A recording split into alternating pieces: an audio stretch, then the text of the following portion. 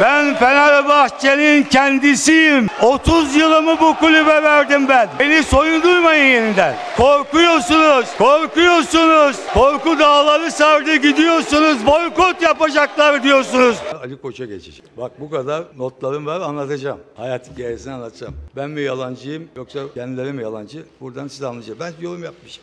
Dün verdiğim söz benim ve arkadaşlarım bitmiştir. Bugünden sonra Fenerbahçe'ye yapılacak zararların karşısında açıkça kamuoyuna konuşarak gereken hareket neyse de onu yapacağız. Sayın Ali Koç bu kulübe niye geldiğinin farkında değil. 16 bin üye Sayın Ali Koç'u niye seçti onu daha anlamamış. Ya seni o 16 bin kişi beyaz atlı prens olarak gördü seni. Gelecektin Pamuk Prenses'i alacaksın uçuracaksın. Pamuk Prenses küme düşüyordu küme. Ben şampiyonluk sözü vermedim diyor. Fenerbahçe başkanı olan, yönetiminde olan, Fenerbahçeli olan herkes şampiyonluk sözü vermeye mecburdur. Söylüyor, diyor ki ben diyor bu üç senede çok sıkıntılar çektim. Hapis mi yattın? Yok. Pandemide bir hafta ev- evden çıkmadın herhalde. E o yani. Başka ne oldu? Sen 150 milyon euro söz verdin. Sözünü yerine getir. Ben bütün yaz, yazılardan vazgeçtim kendim konuşuyorum. Haberiniz olsun. Yoksa çok not var. Ya kendim konuşuyorum. Ya 52 tane oyuncu aldın. 52 tane. Para yok bu kulüpte. Para batmış bu kulüp. Ya sen 52 tane oyuncu nasıl alırsın? Seni affetmem. Bunu bil. Seni affetmem. Seni bu seyirciyle göndereceğim. Ben değil. Bunu bu seyirciyle göndereceğim. Bak Ali Koç. Ali Koç sen koçluğunu bil.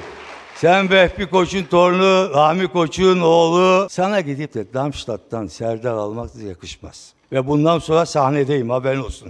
Arkadaşlarımla. Herkes serbest. Herkes serbest. Fenerbahçe'ye geçmişine bak neler geldi. Ortegalar, Alex'ler, Wijnaldum'lar. Anelka geldi. Anelka dağımın sayesinde kulübede oturdu be. Roberto Carlos şampiyon oldu. 100 bin kişi elini sallayarak Carlos Carlos diyerken sabah uçakla özel aldı geldiler Türkiye'ye. Senden beklentimiz bu. Para yok diyorsan bırak kardeşim. Parası olan gelir. Parası olmayan da gelir yine yapar ya. Sende para çok. Seni onun için seçti bu insanlar. Bak sana söylüyorum. Bundan sonra her söyleyeceğiniz söze iki söz söyler. Hiç televizyonlardan ayrılmam. Nasıl sallamak kolay benim için. O yanındakiler konuşuyor kulüpte.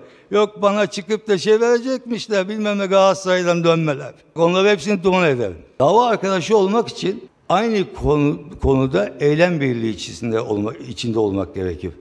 Eylem birliğiniz yoksa o zaman olmaz yani. Sen 2012'de seçim var ben hapisteyim. Arkadaşların bir kısmı hapiste. Sen yönetime girmedin ayrıldın gittin. Şimdi Sayın Ali Koç da bu 3 Temmuz'un neresinde ben anlamadım. Bak şimdi basketbol takımının yarın genel kurulda konuşmanda söyle.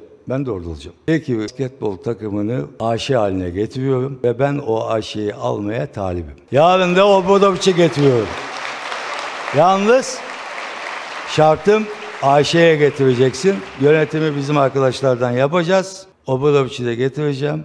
Her sene de Final Four oynayacağız. Bizde para çok. Başakşehir'den aldıkları kahveciye Galatasaray Kulübü ve Marsilya Kulübü 4,5 milyon euro bonservis bedeli verdiler. Biz kaç aldık? 11 milyon euroya. Sakın beni yalanlamaya kalkmasınlar, evrakları koyarım önlerine. Her şeyi biliyorum. Ayıp ya, Fenerbahçe'yi kandırıyor. Ali Bey'i kandırıyorlar bir şey değil ha. Diyorlar ki yok o kadar değil. Galatasaray işte 9 verdi, 10 verdi bilmem ne koyuyorlar önüne. O da Galatasaray'a gitmesin diye alıyorlar. Gazeteci soruyor. Emre Belezoğlu şampiyon yapsaydı Emre Belezoğlu ile devam edecek miydiniz? Diyor ki cevap ben diyor belki olmayacaktım. Hayda.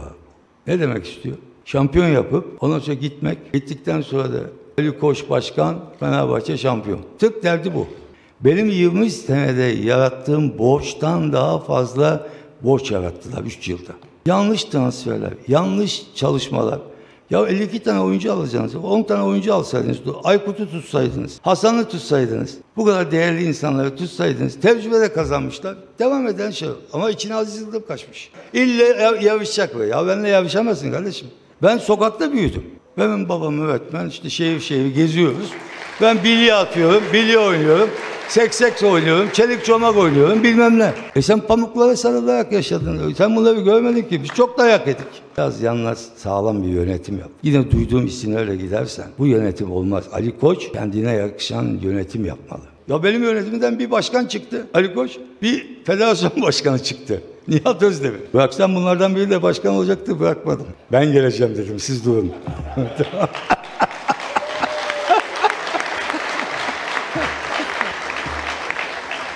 Espriler yapıyorum bunları bilin yani. Bir daha hayatta düşünmüyorum, düşünmeyeceğim de. Fenerbahçe'nin bundan sonra geleceğiyle ilgili her türlü kararda veya hareketin içinde olacağımı bilsin herkes. Yani öyle çekildi kenara oturuyor yok bundan sonra geleceğim.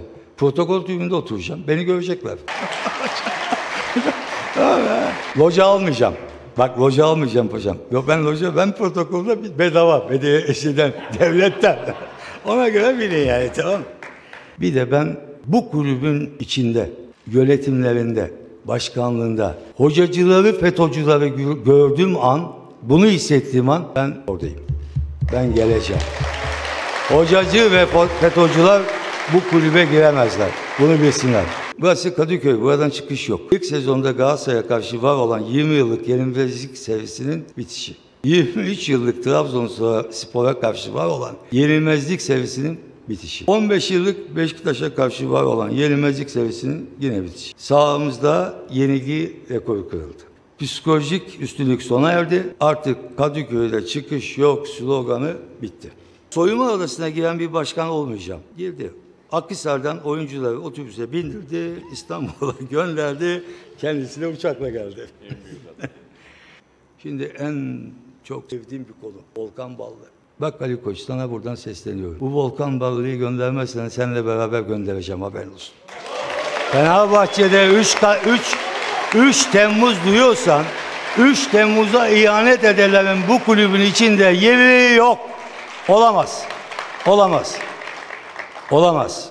Onun için bunları temizle. Bunlar olduğu müddetçe arkada bir yerde söylüyorsun iyiler hep kazanır diye. Bak iyi değil misin demek ki kazanamadın. Ali Koç'un bir sıkıntısı var. Aziz Yıldırım ve arkadaşlarından rahatsız oluyor. Ya biz kenara çekildik, kaybettik çekildik. Biz kaçmadık. Biz Fenerbahçe'ye gelip de kongrede biz yokuz bay bay demedik. Ali Koç'un içine Aziz Yıldırım ve arkadaşları kaçmış. Bizi düşman olarak görme. Bizi içinden at. Bizi rakip görme. Bizle rakip olabilmenin tek şansı var.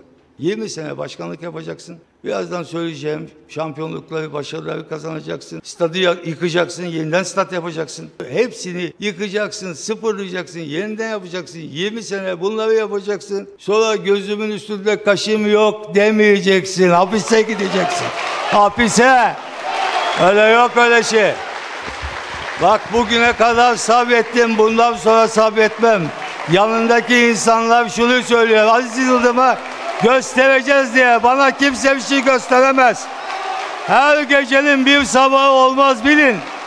Beni fazla kızdırmayın. Ayıp denen bir şey var. Sustukça üstümüze geliyorsunuz. Ben Fenerbahçe'nin kendisiyim. 30 yılımı bu kulübe verdim ben.